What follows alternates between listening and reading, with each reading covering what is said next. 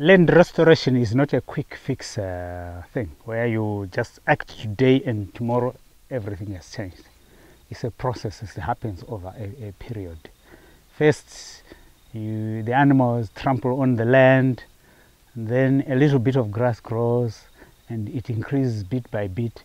But as the conditions change or microenvironment changes, other plant species begin to appear.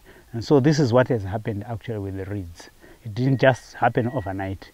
It took quite a number of years and then slowly you will find that you have dotted reeds here and there and they, uh, they increase. Even this uh, grass uh, that loves wetlands also uh, appears just as dots here and there and increases in volume and the other species dies off and this is what actually happens well, so with tell the me about where we are and what these plants are that are surrounding you.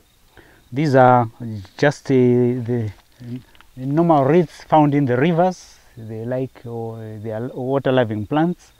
And if the land is dry, generally you will not find them much.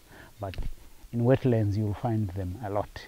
And because we have, we have changed this place into a kind of wet, wetland, and this is why they are actually increasing and going, uh, they are actually growing further, further upstream. What did this area used to look like? She used to have tall grass, uh, the thatching grass uh, a bit, and then bare sp- spots all over. But uh, this now the bare spots have disappeared, and you, as you can see, there's more water underneath than bare spots, And, and, and, and- more and ground where, cover. where, where are we? What is this? This is the upper part of the elephant pools On on Dimbangombe. It's reeds everywhere now, as far down as you can see. Yes. As we were talking out downstairs, I said the um, changes don't just take place overnight. As you can see, this is a reed. That is just one, and you have this grass growing here, and another reed here is um, just showing up. Then, as you move up, you have those two. So, as, as at the beginning, they will just show one by one. Then this is showing us that the wetland is spreading sideways. It means in a few years' time, we will not be able to drive along this path we have been moving.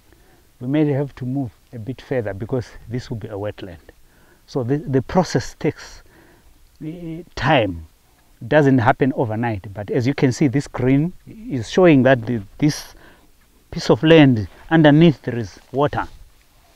And is- the water level is increasing. As it increases then the reeds will also invade the place and spread up. And the tall grass as you can see here you have less tall grass thatching grass and you, up there you have more thatching grass.